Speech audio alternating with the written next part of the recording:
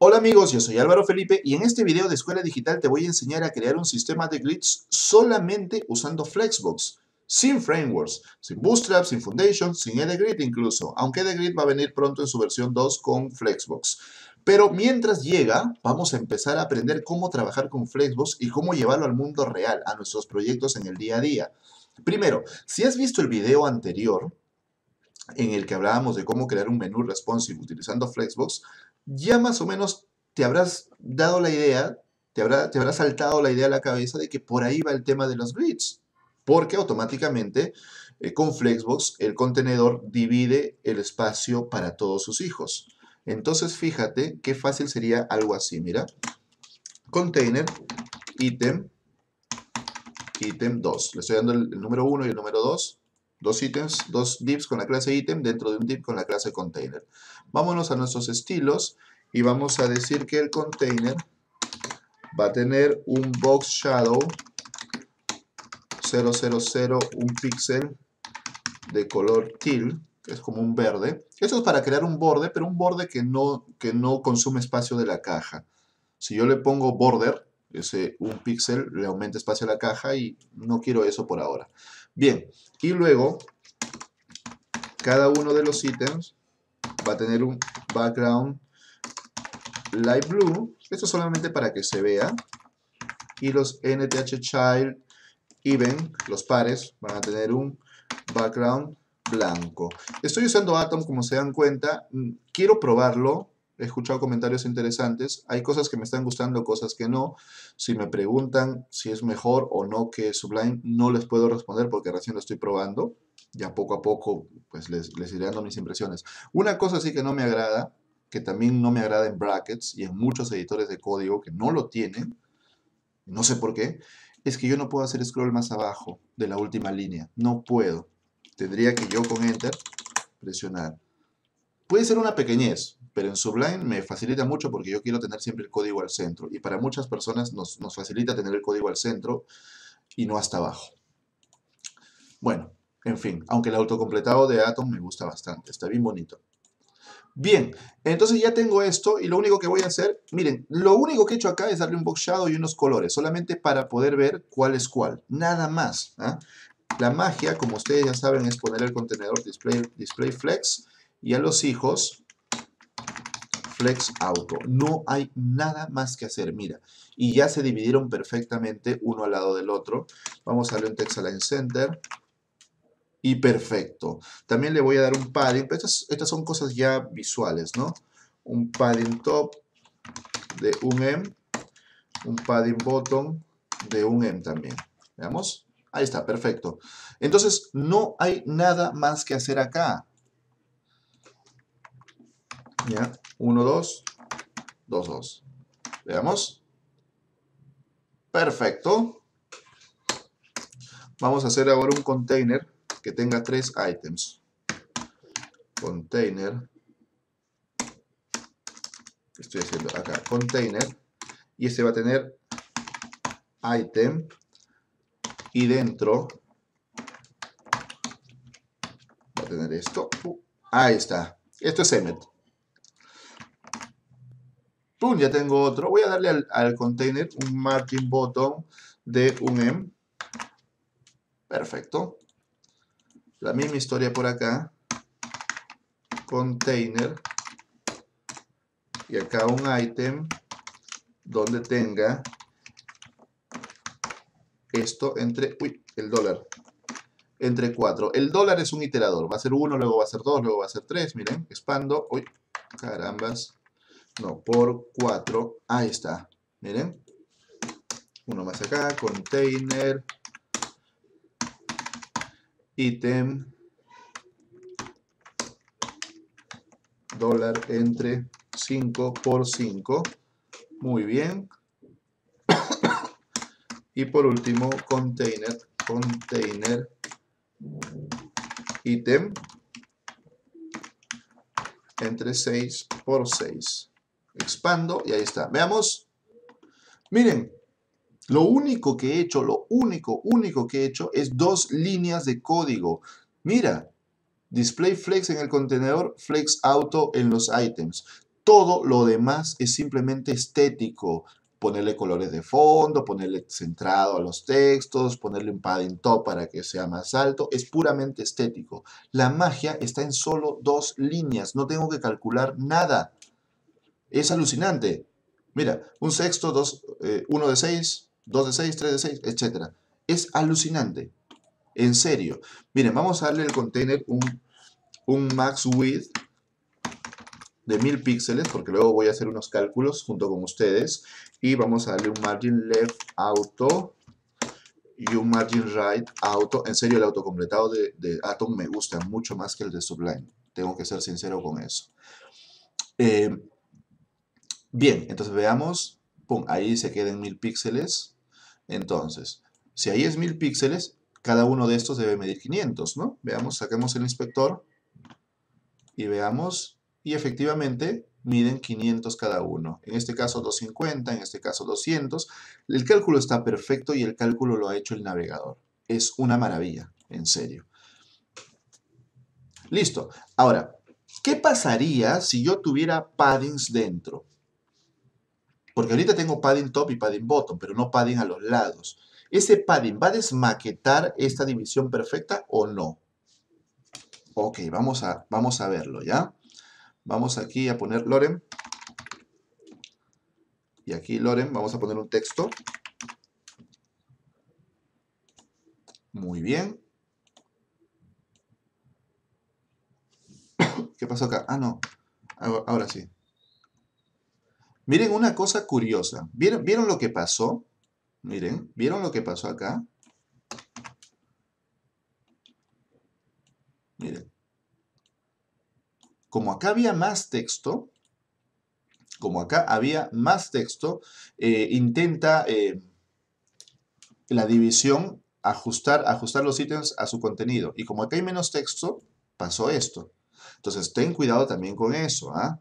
Yo sugiero, yo sugiero que dentro, que estos ítems sean contenedores genéricos nada más y que no pongas texto ni contenido de frente ahí, sino que pongas otro div dentro y ahí recién pongas contenido podría ser una opción.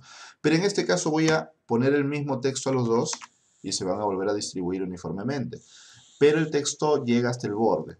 Entonces, ¿qué pasa si yo en vez de padding top y padding bottom, de frente pongo un padding de un M a los cuatro lados?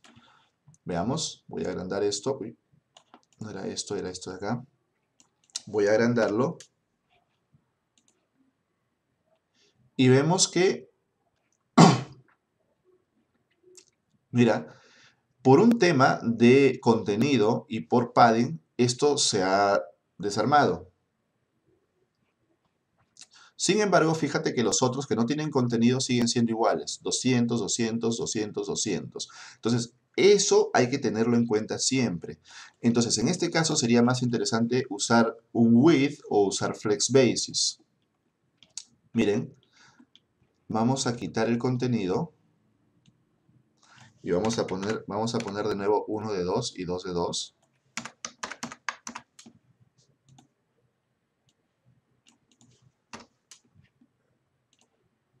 Ahí está, 500, 500. Perfecto. Entonces, primera, primera lección del video de hoy. Los paddings no te desarman la maquetación, pero quien sí podría desarmarte la maquetación es el contenido. Tenlo en cuenta. Ahorita vamos a entrar más a fondo sobre eso, ¿ya? Aguanta esa idea ahí y ahorita seguimos con eso. Bien. Ahora, ¿qué pasaría si yo no quiero columnas del mismo ancho, sino que quiero columnas proporcionales? ¿Qué pasaría? Vamos a ver, por ejemplo, y eso se hace mucho cuando diseñamos, ¿no?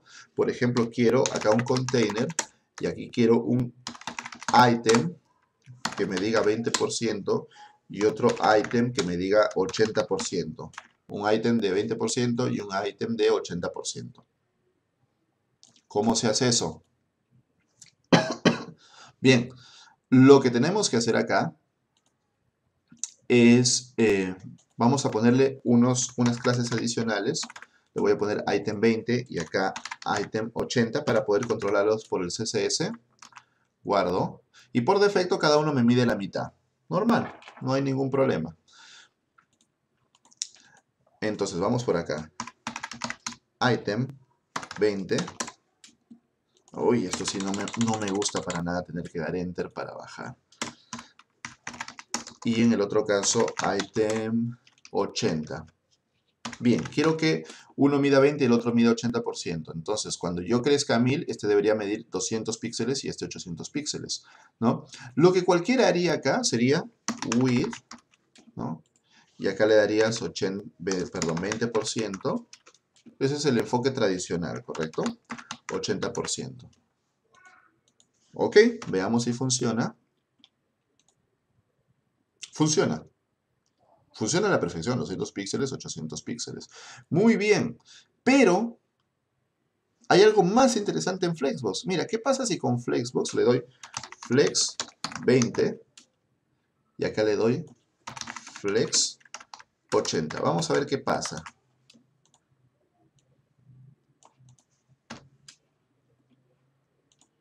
Mira, ahora mide 219, ya no mide 200. ¿Por qué?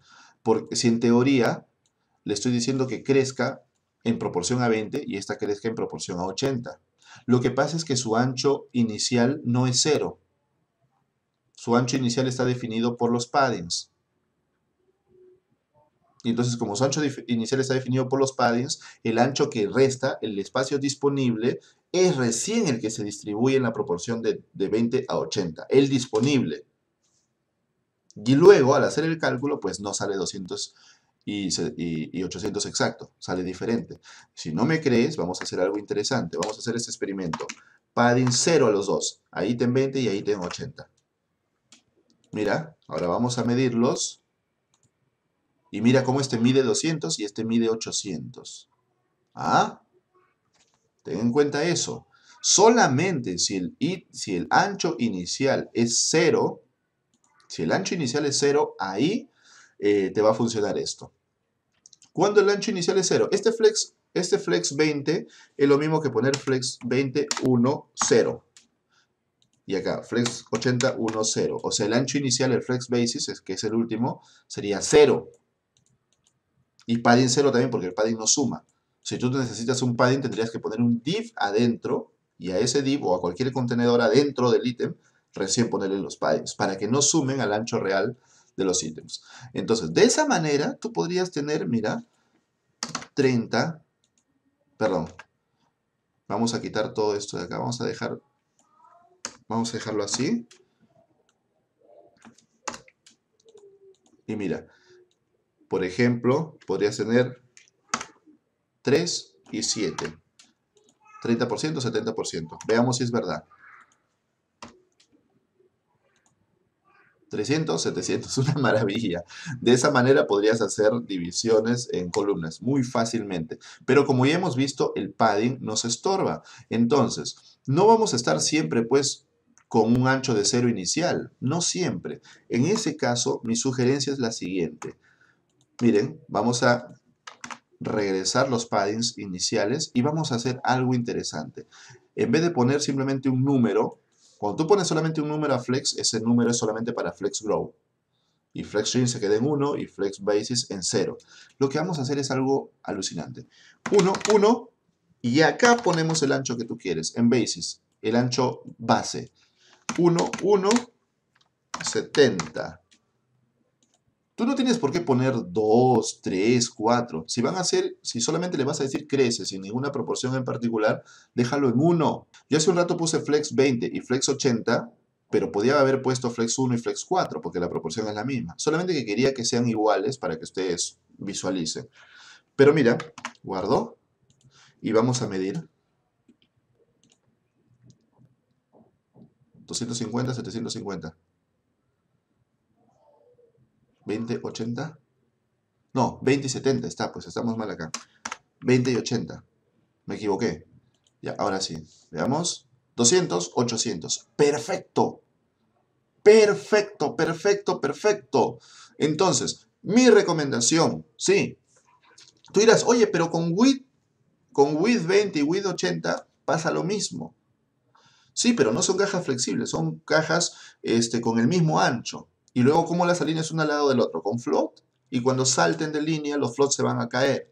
En serio. Entonces, mm, te recomiendo usar esta forma. Flex 1.1 y luego la proporción que tú quieres. Flex 1.1 20, Flex 1.1 80. ¿Qué pasa si le pongo acá 40 y acá le pongo 60? Ya, este me dirá 400, ¿no? ¡Uh! Y puedo hacer cosas así, mira, 33 y este 60, ¿y cuánto sería? 67. Veamos, 330, 670. Una maravilla, facilísimo de hacer, facilísimo de hacer. Ahora, ¿qué pasa si hubiera margen y no padding dividiendo las columnas? Vamos a ver, vamos a darle un margin de 10 píxeles a todas las columnas. O vamos a darle 0.10, ¿ya? Para que solamente sea un margen a los lados. Perfecto. La proporción se mantiene, pero en, los, en, las que son del mismo ancho realmente no, no me preocupa. No me preocupa para nada. Pero en las que son de ancho proporcional, ahí sí quiero cerciorarme a ver qué ha pasado. Pero quiero hacer algo. Como le he aumentado 40 píxeles, porque 10 acá, 10 acá, otros 10 acá y otros 10 acá, voy a cambiar el ancho a 1040 para poder hacer cálculos más rápido, ¿no? 1040. Ahí está. Bien, entonces esto debería medir 200 y esto debería medir 80. 800, vamos a ver si es verdad. Ah, no, me he quedado con el ancho anterior. 20. 80. Y vamos a ver. Mide 200. Hay un error de redondeo. Y eso pasa solamente cuando usamos márgenes. Y, pero mira, pero al final de cuentas ese error de redondeo es mínimo. Es menor a un píxel. Entonces no pasa nada. No importa. Mira, 799 con punto 219, 200 píxeles, porque en realidad no lo he dicho en ningún video, pero prácticamente que todos los frameworks tienen errores de redondeo. Y peor aún, al ser responsive, no es culpa del, del, framework o del CSS, es tema del navegador. ¿Qué pasa cuando el navegador tiene que hacer un cálculo y ese cálculo es de, eh, nos arroja un resultado con decimales y no con un píxel entero? Eso es normal, pasa todos los días. Si tú tienes un ancho de 1000 píxeles y divides tres columnas perfectas, en la medida de esa columna necesariamente es con decimales en píxeles. Entonces los navegadores lo que hacen es redondear.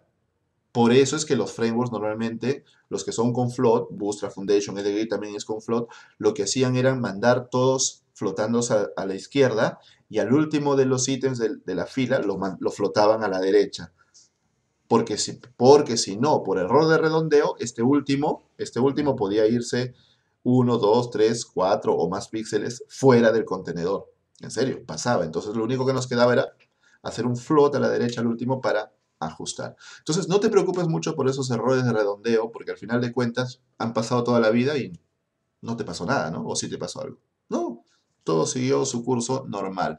Entonces, resumiendo, prácticamente lo único que tú tienes que hacer acá es esto de aquí. Flex 1, 1 y luego le das en porcentajes el ancho que tú quieres. No estoy viendo el tema responsive porque en el tema responsive eh, tendríamos que ver cuándo un, un, elemento salta a la siguiente línea para hacer ya una cuadrícula. Por ejemplo, estas cuatro columnas tal vez en cierto ancho sean dos. ¿no? Y las otras dos vayan abajo.